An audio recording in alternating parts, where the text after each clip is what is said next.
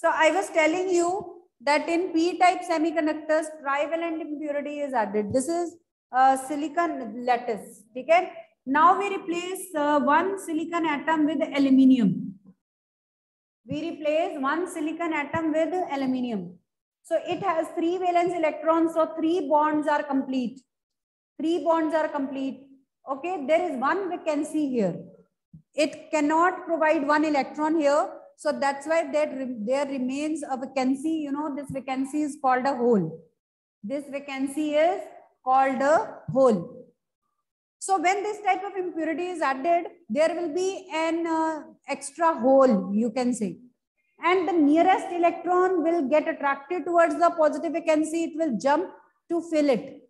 When it will jump, there will be a hole created here. Neighboring electron will jump here and again a vacancy will be created here and here and so on. The movement will start, but in such a way that number of holes always remains more than that of electrons. So that's why it is called p-type semiconductor, positive type semiconductor, because the majority charge carriers responsible for conduction are holes, which are positively charged. Electrons are minority charge carriers in p-type semiconductor, but holes are majority charge carriers. So note it down. In p-type semiconductor, holes are majority charge carriers. Majority charge carriers. And electrons are minority charge carriers. Electrons are minority charge carriers, right? So holes will always remain in excess when a trivalent impurity is added to the pure semiconductor. But you can see how the movement started and how the conductivity started. So this is second way of increasing the conductivity of a pure semiconductor by adding impurity, suitable impurity to it. Okay, another example of uh, trivalent impurity is indium. Indium भी add कर सकते हैं तो भी हमारे पास p type semiconductor ही आएगा. All right. Then the other type is n type semiconductor. So let's discuss n type negative type semiconductor. So we will get n type semiconductor when pentavalent impurity is added to the pure semiconductor. Pentavalent impurity like phosphorus, that is having five valence electron, arsenic, arsenic can be added. Okay. These are examples of pentavalent impurities. So now let us replace one silicon with the phosphorus now, having five valence electrons. So four electrons are used in completing the bonds here. Fifth electron remains extra. Okay, fifth electron remains extra.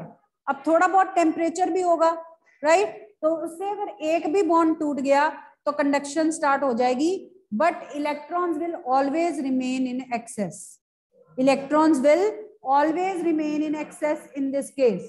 So that's why it is called N-type semiconductor or negative type semiconductor. Okay, that is why this type of uh, semiconductor is called N-type because electrons are majority charge carriers which are negatively charged because electrons are majority charge carriers and holes are minority charge carriers. Since electrons are always negatively charged so this is called n type or negative type semiconductor is that okay now दोनों types clear है P type N type semiconductor होते क्या हैं किसी को doubt है तो पूछ लो P-type semiconductors are obtained when we add trivalent impurity to the pure semiconductor. Its conductivity increases. हाँ एक चीज़ और p type semiconductor में जो trivalent impurity atom है they are accepting an electron ठीक है from the lattice of uh, semiconductor so that's why they are called acceptor atoms those trivalent impurity atoms are called acceptor atoms And in n-type semiconductor, they are donating one electron. The pentavalent impurity atoms are donating one extra electron to the lattice. So that's why they are called donor atoms donor impurity atoms ठीक है? तो pentavalent impurity atoms का are called donor atoms and trivalent impurity atoms are called acceptor atoms okay according to their function they are named ठीक है? चलिए, अब हम energy band discuss करते हैं. एनर्जी बैंड्स इन मेटल्स और conductors semiconductors and insulator very very important question this question is very important okay energy bands अब energy bands बनते कैसे energy bands in material substances बनते कैसे और होते कौन से? You know there is a lower band called valence band in every material metals insulator semiconductor there is always valence band separated by conduction band through an energy gap which is called forbidden energy gap this energy gap between two bands is called forbidden energy gap, EG. Okay, which is different in different substances. A substance will be good conductor if electrons present in the valence band, they are able to cross this gap, this barrier and are able to reach the conduction band. अगर वो conduction band में पहुँच गए तो substance conduct करेगा वो good conductor होगा ठीक है तो ये बेसिक लॉजिक होता है कि when electrons present in the valence band they are able to reach the conduction band after crossing the energy gap between the bands then this is called then this substance becomes a good conductor जिसमें ये gap cross नहीं हो पाता, वो insulator रह जाता है। ठीक है? So let us draw energy band diagram for conductor, semiconductor, insulator. Very important question this is. तो चलिए ड्रॉ करते हैं। Energy band diagram for conductors in conductors either the bands overlap or there is no energy gap between them ठीक है energy gap is zero between them for conductors for metals तो ये energy band diagram बना रहे हैं हम for conductors और metals इधर the conduction and valence bands they overlap each other okay so that there is no energy gap और the energy gap is zero so the electrons that are present in valence band they are already in the conduction band also they don't need any energy to cross it there is no barrier there is no gap in between तो इसलिए ये हमेशा good conductor ही रहते हैं conductors are having free conduction of electrons between them because whatever electrons are available uh, in the valence band they are able to reach the conduction band easily क्योंकि इनके बीच में कोई गैप ही नहीं होता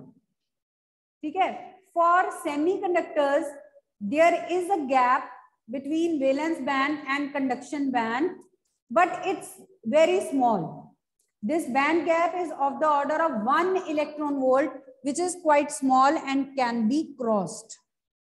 ठीक है कैसे क्रॉस हो सकता है by taking energy from outside अगर हम थोड़ा सा भी हीट करते हैं हमने देखा है कि with rise in temperature the resistance of semiconductor decreases ठीक है तो वो कंडक्टर बन जाते हैं।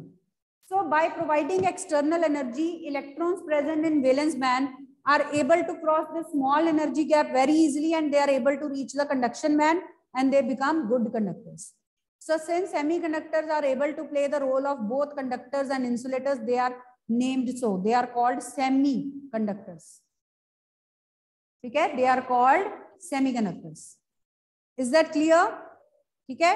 तो इनमें गैप होता है बट स्मॉल होता है, जिसको हम क्रॉस कर सकते हैं। फॉर एग्ज़ाम्पल नोट कर लीजिए band gap in case of silicon 1.1 electron volt का है तो अराउंड वन इलेक्ट्रॉन वोल्ट है, जिसको हम क्रॉस कर लेते हैं। और in germanium this band gap is still smaller 0.7 electron volt so, in semiconductors, band gap is very small, that can be easily crossed by supplying extra heat from outside at the third place we have insulators In insulators, again, there is a band gap, but this is very large. This band gap is of the order of 6 electron volt, which is very large. The electrons present in valence band, they can never have this much energy. They can never cross this gap and they can never reach conduction band. So they remain insulators always. So this is energy band diagram for insulators. Okay, तो ये board में question आ चुका है. Draw energy band diagram for conductor semiconductor and insulator ये है semiconductors for semiconductors and for insulator for insulators is that clear students कुछ पूछना है यहाँ तक तो पूछ सकते हो? इसका एक एग्ज़ाम्पल ले सकते हो. फॉर एग्ज़ाम्पल कार्बन कार्बन का बैंड गैप है अबाउट डायमंड का. 5.8 electron volt very close to 6 electron volt so this is very large energy gap that can never be crossed by electrons present in valence band. So, that's why insulators never conduct.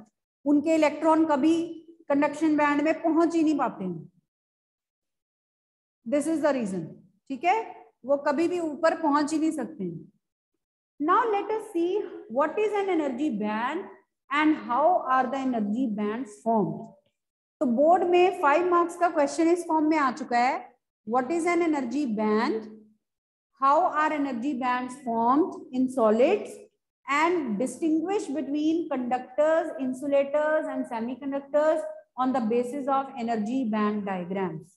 The energy band diagram तो हमने बना लिए and you have already heard of valence band, conduction band. But how are these bands formed? Let us do band theory of solids. तो band theory of solids से हमें पता चलेगा कि how are the bands formed?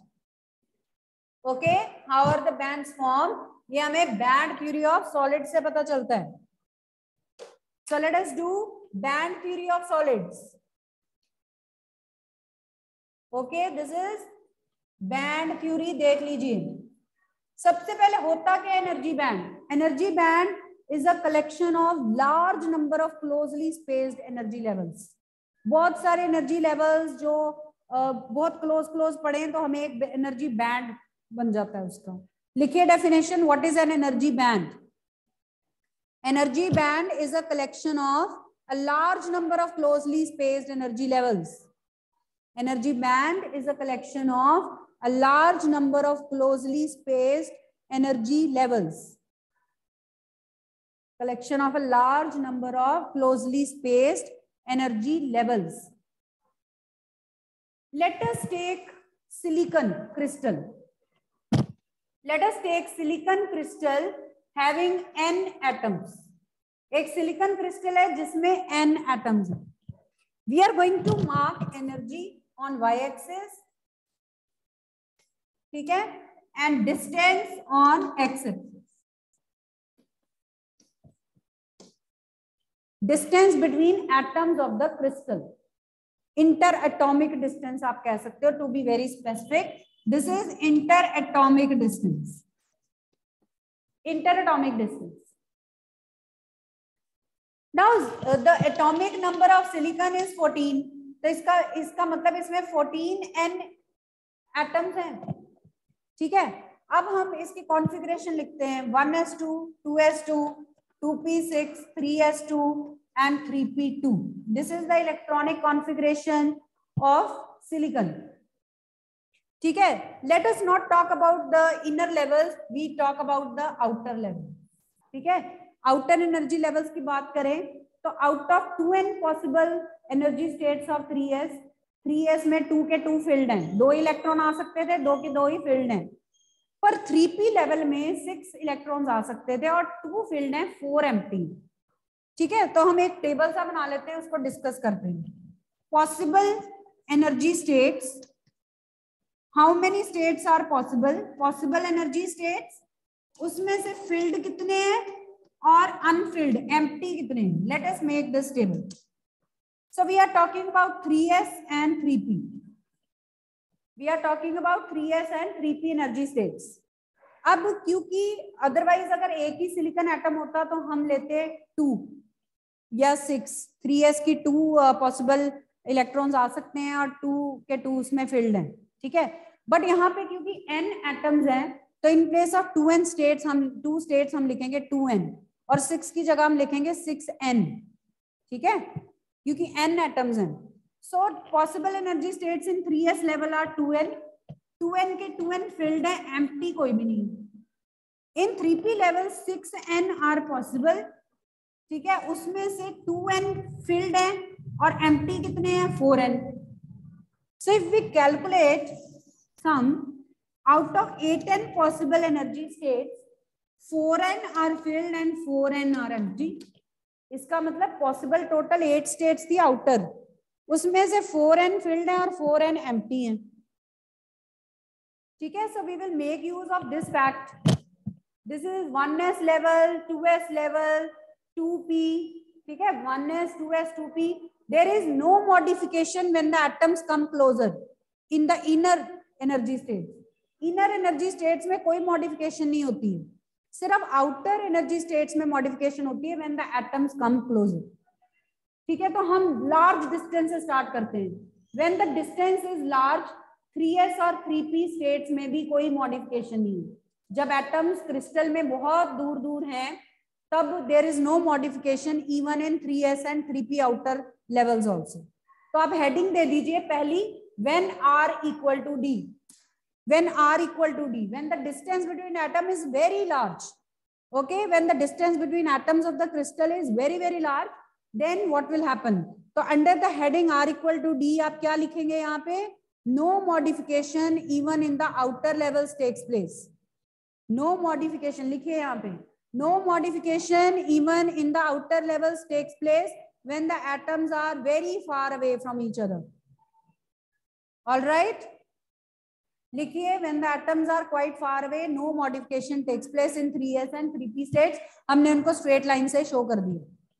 Now atoms come closer ठीक है? अब atoms जो है, वो थोड़े पास आ गए। सी डिस्टेंस तक आ गए, यहाँ तक क्लोज आ गए।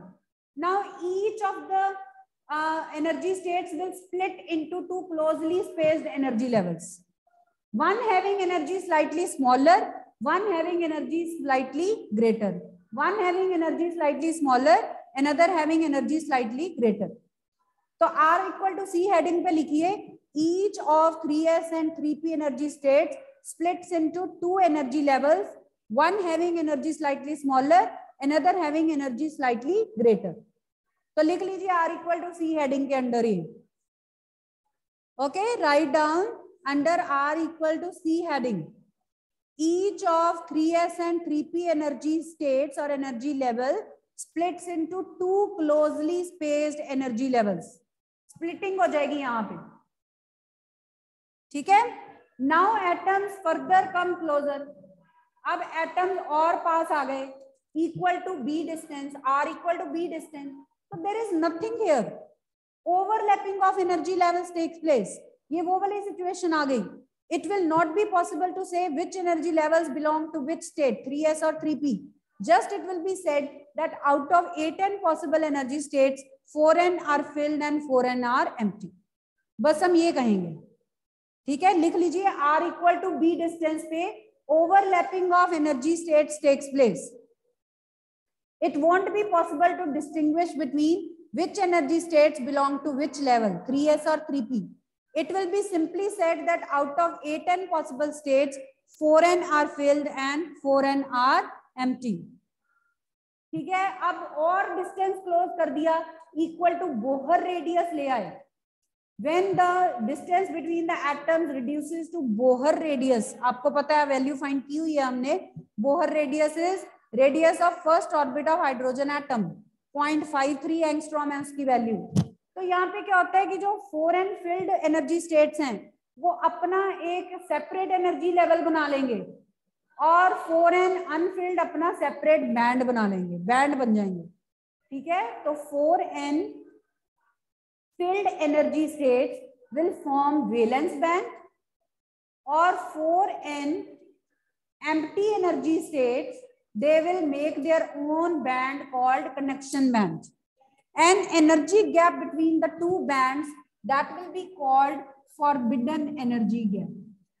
So if any electron wants to go from valence band to conduction band, it will have to possess this much energy equal to forbidden energy gap. Okay. So this is how valence band and conduction bands were formed.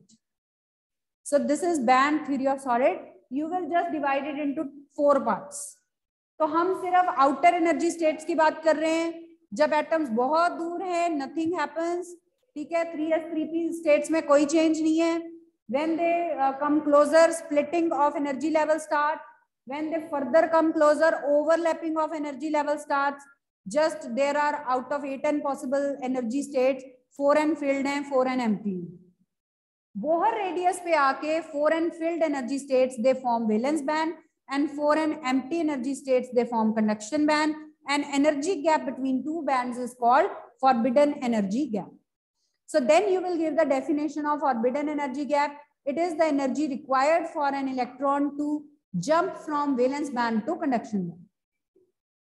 So for a good conductor or a substance to conduct the electron must reach from valence band to conduction band. So it must possess this much energy equal to at least energy gap. And we have seen through energy band diagrams of conductors, insulators, and semiconductors that this uh, forbidden energy gap is maximum in case of uh, insulators and uh, minimum in case of metals and intermediate in case of semiconductors. So that's why semiconductors, they play both the roles. They sometimes they behave like insulators also, sometimes they behave like conductors also.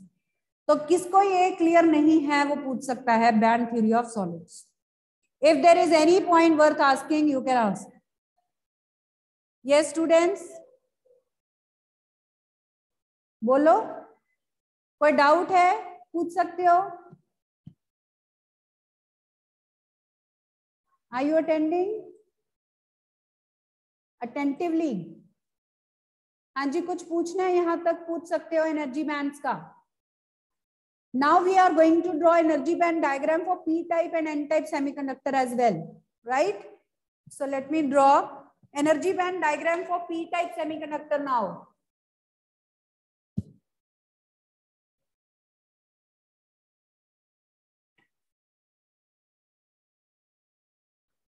Energy band diagram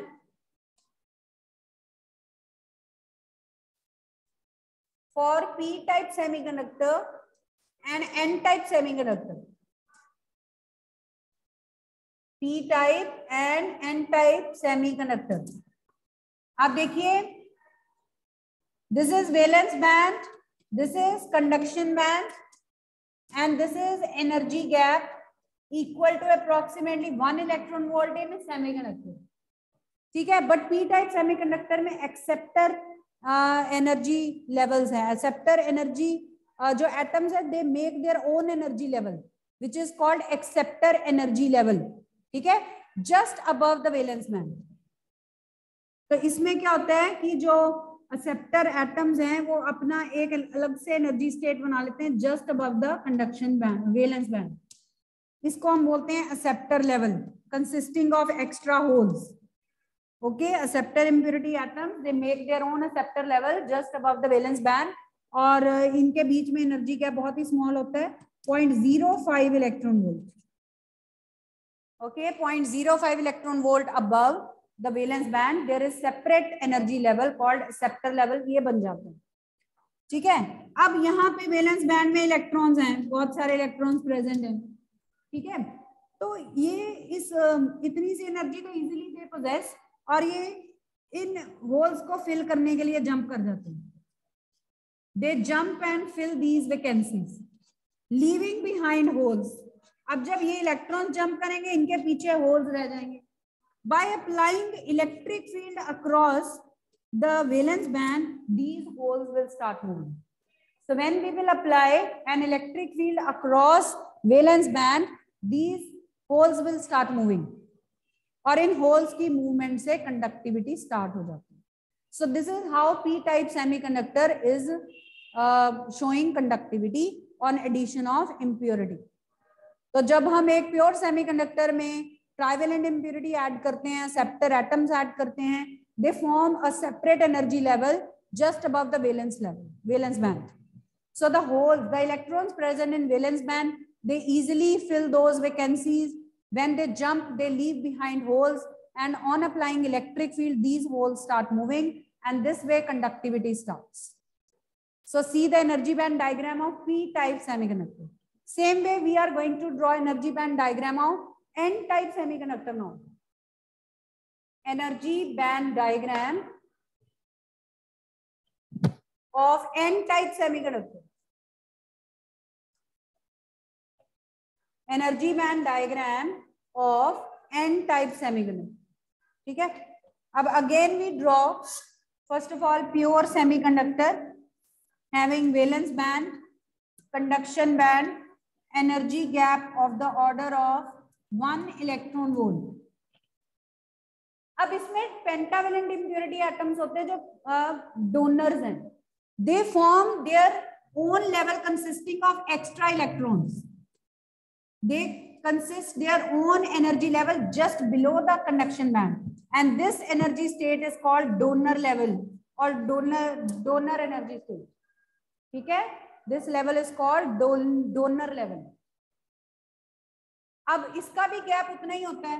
यहाँ इतना gap है point zero five electron volt just below the conduction band इतना gap होता है यहाँ पर ना this much energy by can be easily प्रोजेस by these extra electrons आपको पता है ना कि donor atoms they give an extra electron ठीक है? To the lattice they provide extra electron to the lattice तो जितने भी इम्प्योरिटी एटम हमने ऐड किए, उतने इलेक्ट्रॉन्स एक्स्ट्रा रहेंगे। Those extra electrons will make their own energy level here called donor level now these electrons can easily possess the small energy and they can reach the conduction band so when the electron reach conduction band conductivity start and this type this way when pentavalent atoms are added to the pure semiconductor conductivity is enhanced. ठीक है? तो P type में आपने acceptor level show करना है N type में आपने donor level show करना है। और डोपिंग का एक्सटेंट क्या होता है?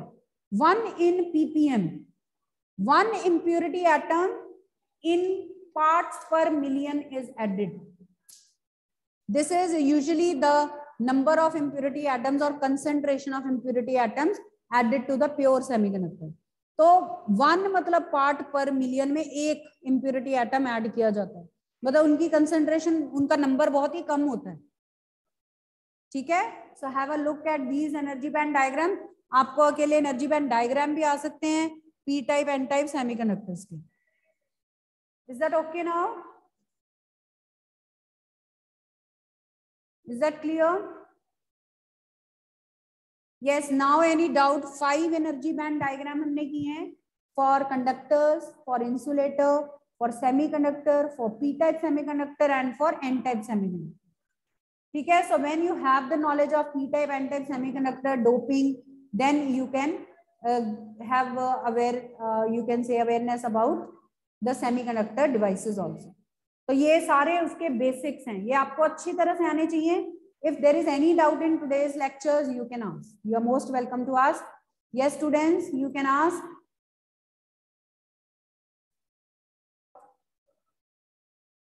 next देखिए PN junction diode. Next topic after this is PN junction diode.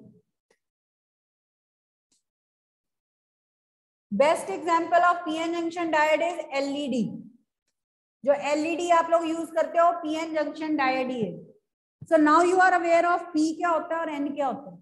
ये P type N type materials को ज्वाइन करके बनता है PN junction diode ठीक है? So I am just telling you what are different ways in which PN junction P type and N type they can join together to make a P N junction diode तो क्या different veg हैं?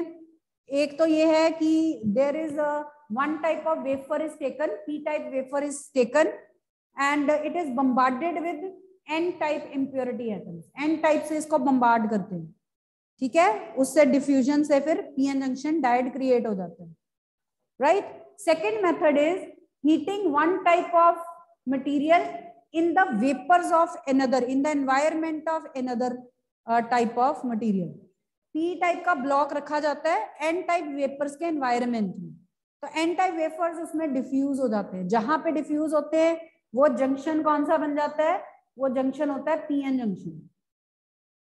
ठीक है? तो ये एक दो methods हैं जिससे पीएन जंक्शन डायड जंक्शन जो है वो ऑप्टेन किया जाता है। Right? Tomorrow we'll be continuing with the working of this pn junction diode ठीक है? तो पी एन का मतलब आप, आपको समझ आ गया। P means P type material P type semiconductor or n type means n type semiconductor. And both are extrinsic semiconductors that we have obtained by doping process